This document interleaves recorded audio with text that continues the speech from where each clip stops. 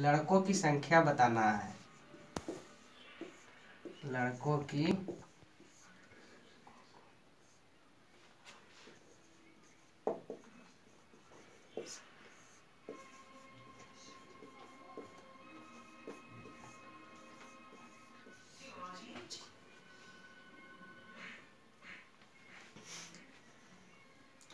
पहले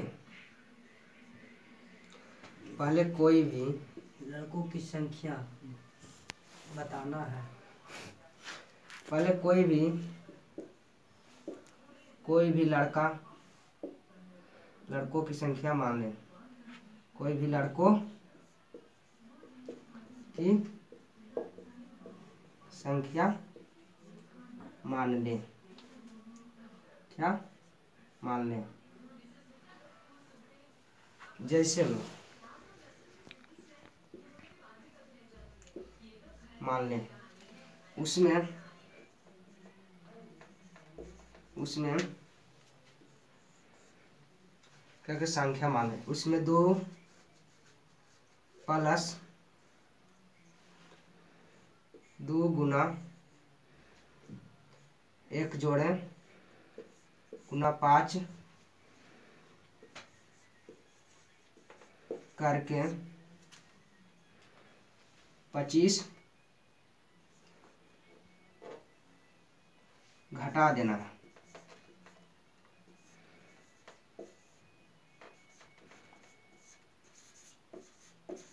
देना।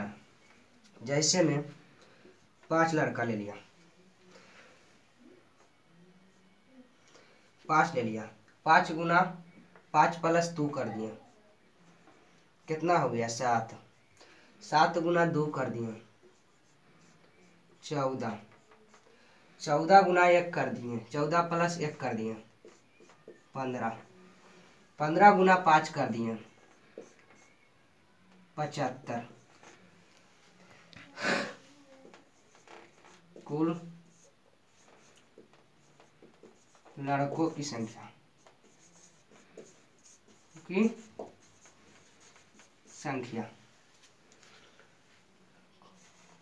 कुल लड़कों की संख्या पचहत्तर है।